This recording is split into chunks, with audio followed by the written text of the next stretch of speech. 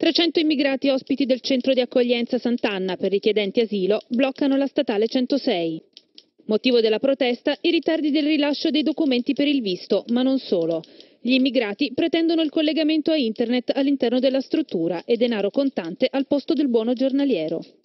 Problem dentro no mangiare buono, no soldi, pocket money, non c'è, no passaporto, tutti negativi. Questa è solo l'ultima manifestazione messa in atto dagli immigrati del centro d'accoglienza.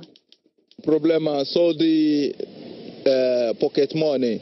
Io sono qua sei mesi, no soldi, 2,50 euro, sei mesi no.